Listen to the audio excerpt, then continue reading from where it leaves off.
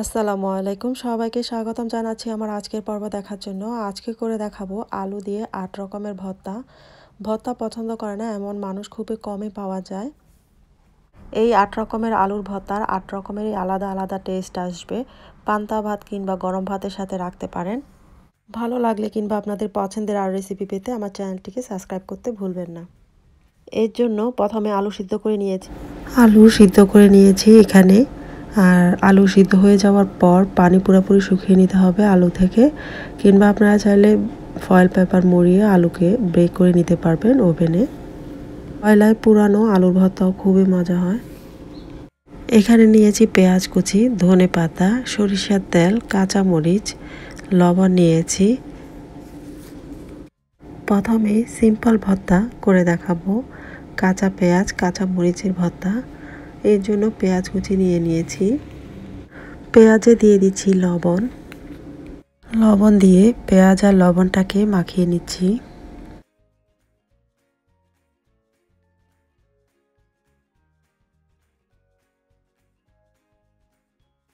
দিয়ে দিচ্ছি কাঁচা মরিচ সরিষার তেল দিয়ে দিব। দিয়ে দিব ধনে পাতা। এই সব কিছুকে এখন একত্রে মাখিয়ে নিচ্ছি।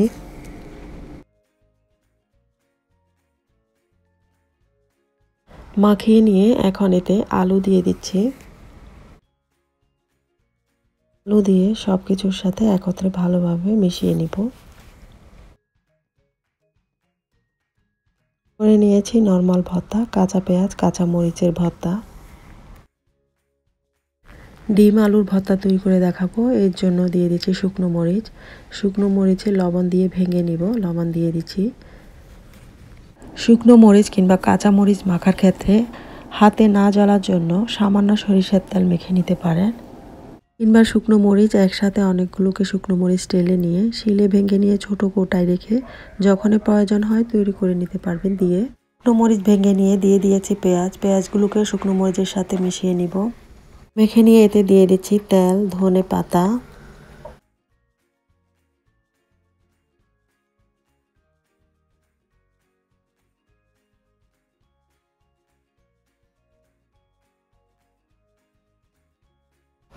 সিদ্ধ করা একটা ডিম নিয়েছি, এখন হাত দিয়ে একটু ছোট করে দিব, ভেঙে।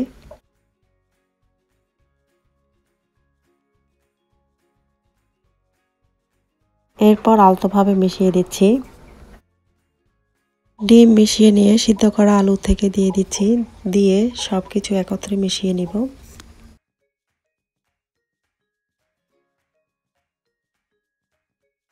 তৈরি হয়ে গেল আমার দ্বিতীয় ভর্তা, ডিম আলুর ভর্তা।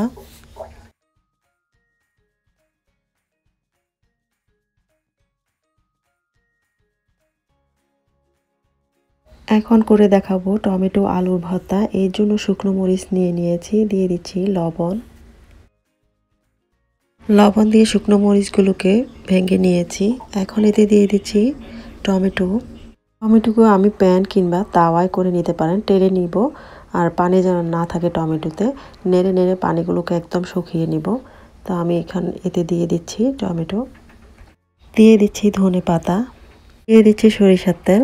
আর ধনে পাতা, পেঁয়াজ, শুকনো মাছ বা সরিষার তেল এগুলো আপনাদের পছন্দ অনুযায়ী কম বা বেশি করে নিতে পারেন।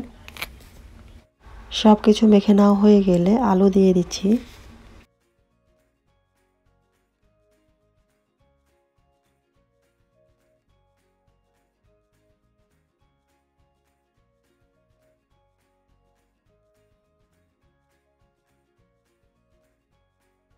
তো তৈরি হয়ে গেল, টমেটো, আলুর ভর্তা। চার নম্বর ভর্তাটা আচারি ভর্তা তৈরি করে দেখাবো। এর জন্য শুকনো মরিচ ভেঙে নিচ্ছি লবণ দিয়ে। শুকনো মরিচ ভেঙে নিয়ে পেঁয়াজ দিয়ে পেঁয়াজকেও মাখিয়ে নিচ্ছি শুকনো মরিচ আর পেঁয়াজটাকে একসাথে। মেখে নেওয়া হয়ে গেলে আচারের তেল দিয়ে দিচ্ছি। দিয়ে দিচ্ছি আমের আচার। আচার দিয়ে মাখিয়ে নিচ্ছি এখন সব কিছু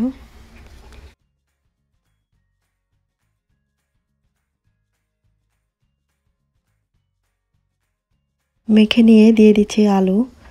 আলু দিয়েও এখন সব কিছুকে ভালো করে মেখে নিব। করে নিয়েছি আচারি আলুর ভর্তা। এখন করে নিব টেলে নেওয়া কাঁচা মরিচের ভর্তা। কাঁচামরিচ ছোট করে নিয়ে তাতে দিয়ে দিচ্ছি পেঁয়াজ। পেঁয়াজটাকেও মেখে নিচ্ছি।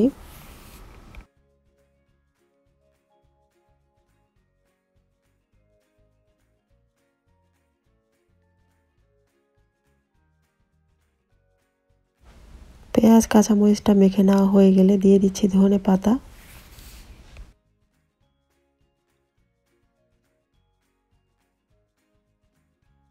সরিষার তেল দিয়ে দিচ্ছি।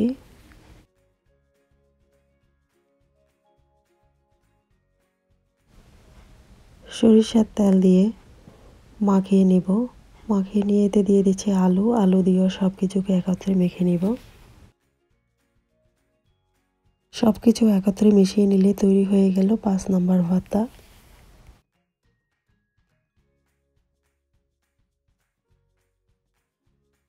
এবার করে দেখাবো ঘি, আলুর ভর্তা। এখন বলে দিয়ে দিচ্ছি পেঁয়াজ কুচি, লবণ দিয়ে মেখে নিব। বা চাইলে ঘি, গোলমরিচ, লবণ দিয়ে ম্যাশ পটেটোর মতন করে নিতে পারেন।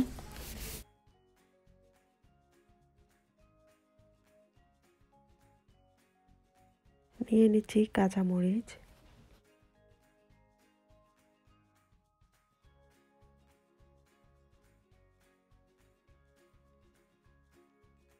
মেখে নাও হয়ে গেলে দিয়ে দিচ্ছি আলু।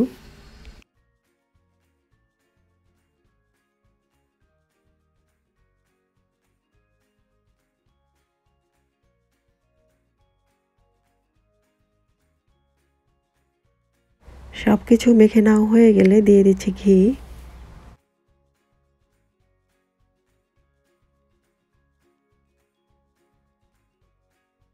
ঘি দিয়েও একত্রে ভালোভাবে সব কিছু মিশিয়ে নিচ্ছি।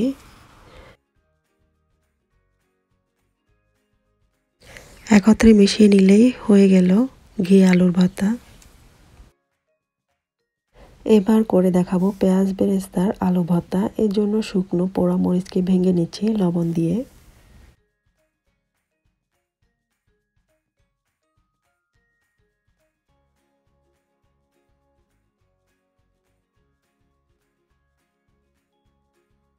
শুকনো মরিচ ভেঙে নেওয়া হয়ে গেলে দিয়ে দিচ্ছি পেঁয়াজ বেরেস্তা।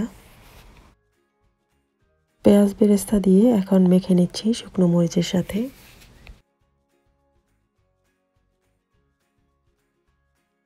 ধনে পাতা দিয়ে দিচ্ছি। দিয়ে দিচ্ছি সিদ্ধ করা আলু। দিয়ে দিচ্ছি আলু আর আলু দিয়েও সব কিছুর সাথে ভালোভাবে মেখে নিব। তেল দিয়ে দিচ্ছি। তো ভালোভাবে সব কিছুকে মেখে নিয়েছি, তৈরি হয়ে গেল।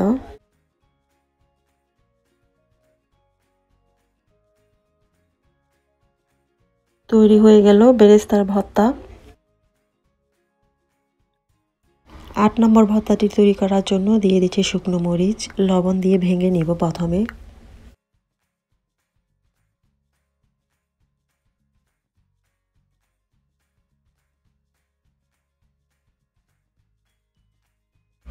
শুকনো মরিচ ভেঙে নিয়ে দিয়ে দিচ্ছি পেঁয়াজ কুচি দিয়েও ভালো করে মেখে নিব। পেঁয়াজ আর শুকনো মরিচটাকে মেখে নিয়ে দিয়ে দিচ্ছি ধনে পাতা। দিয়ে দিব তেল।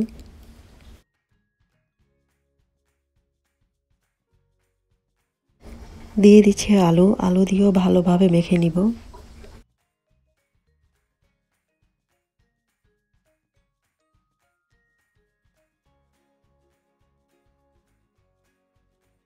সব কিছুকে ভালোভাবে মেখে নিলে হয়ে গেছে ভর্তা।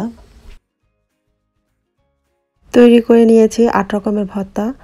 তৈরি করে দেখেন, আশা রাখছি ভালো লাগবে। ভালো লাগলে কিংবা আপনাদের পছন্দের আর রেসিপি পেতে আমার চ্যানেলটিকে সাবস্ক্রাইব করতে ভুলবেন না। আবারও নতুন কোনো রেসিপি নিয়ে হাজির হব সেই প্রত্যাশায় সবাই ভালো থাকবেন। আল্লাহ হাফেজ।